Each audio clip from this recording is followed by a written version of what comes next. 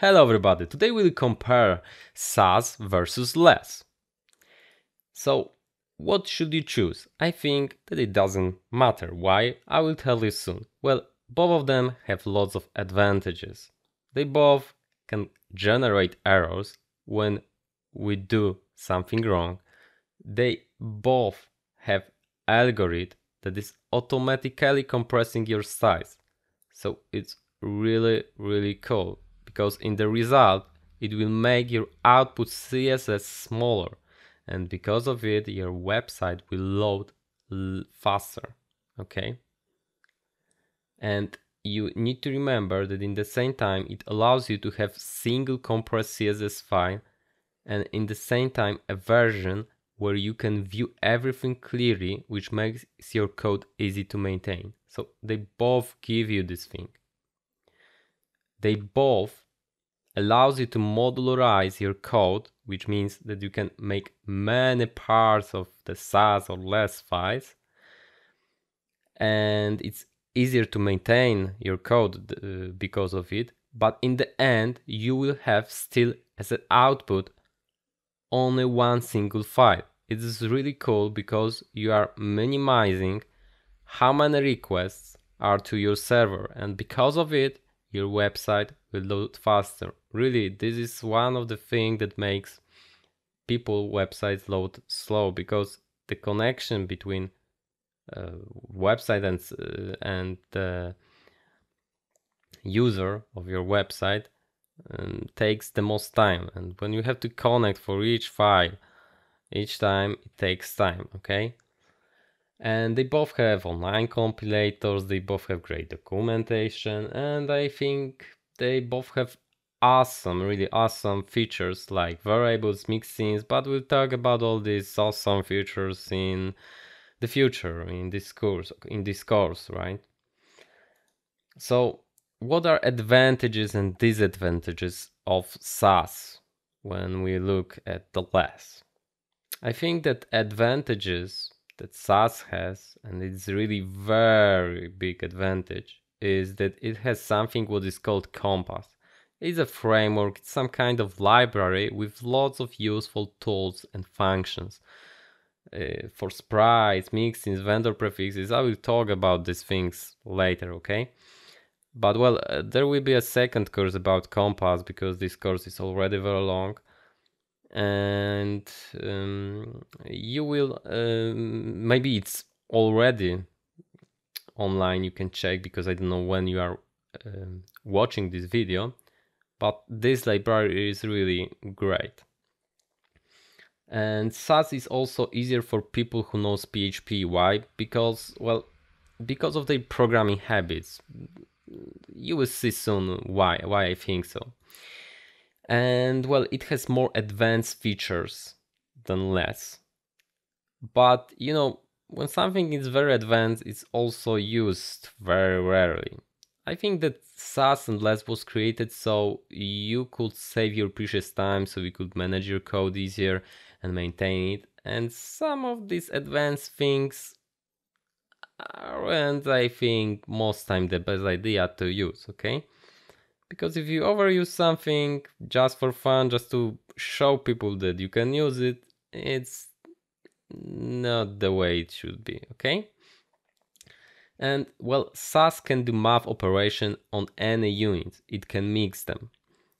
Less can also do math operations so don't worry. It's cool feature of both of them but it can only do it on the same unit types okay? What is the disadvantages well, the truth is, I don't know if it is a disadvantage. That's why I have here a question mark, because it might be for some people.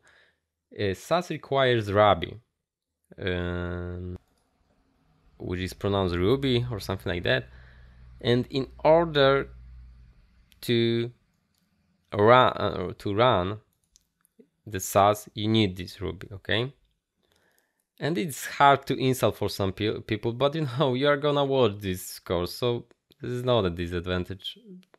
It will not matter for you because you're watching my course and everything will be perfectly uh, explained so, so what are advantages and disadvantages of less? I think the advantages is that less returns easier to understand error logs and really for the person uh, who has never programmed anything it might be helpful okay to to spot errors with the less but well SASS is also reporting errors so you will find them but they are a bit uh, weird Less also has something like namespaces, which adds another layer, layer to organization. Um, so maybe your code will be a bit more organized, but well, it's just a small feature.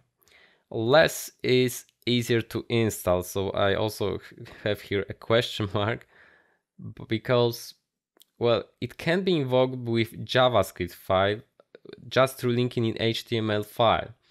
So it's easy to install. We are just putting it into HTML, downloading it, and well, it works. But it has also a disadvantage, big disadvantage, because it's slower. And why? Why you would want to compile everything on fly um, by the user computer instead of doing it pre? Um, pre, sending it to the uh, to the to the server, right? And well, what is a disadvantage of less? I think that less can do only math operation with the same unit. This is a disadvantage. And of course, it's there is a big disadvantage because it doesn't have compass. it also has some libraries, but it's not like a compass, okay? So what is the result of that comparison? None of them won, I think learn the one that you like more. If you know SASS, you can learn less almost instantly and vice versa. So you know less, you can learn SASS. I think you will be happy knowing any of them.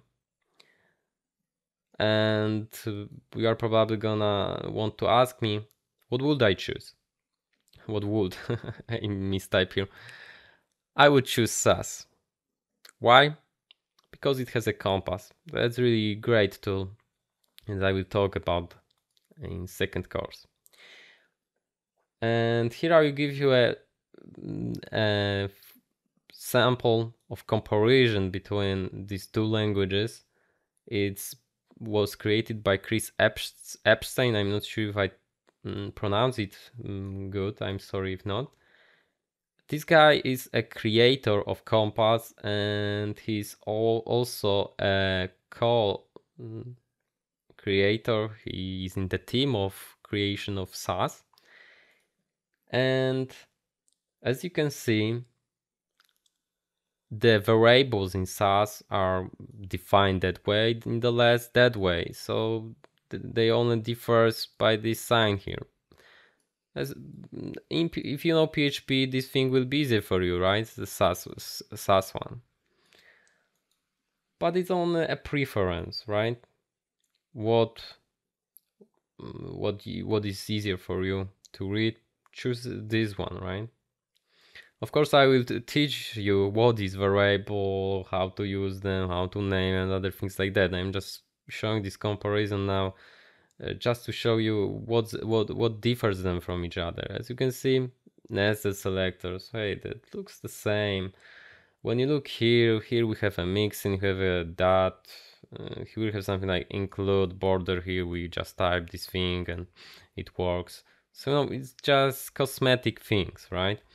I think for me as a programmer the SASS is easier. Maybe for the beginner less might be easier but i think for for reading it later, for understanding the SASS will be better. Okay, so let's go down. Here we have some colors functions less has got also the numbers as you can see here is this problem that uh, you can multiply different units uh, and it works fine but in the less you cannot do it.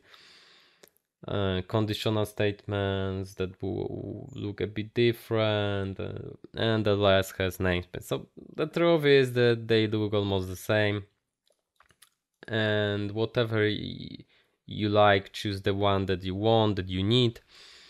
Uh, I would choose SASS if you haven't never done anything like preprocessing because it has got a compass and because you are choosing my course you will install it pretty easy you won't have problems with installing.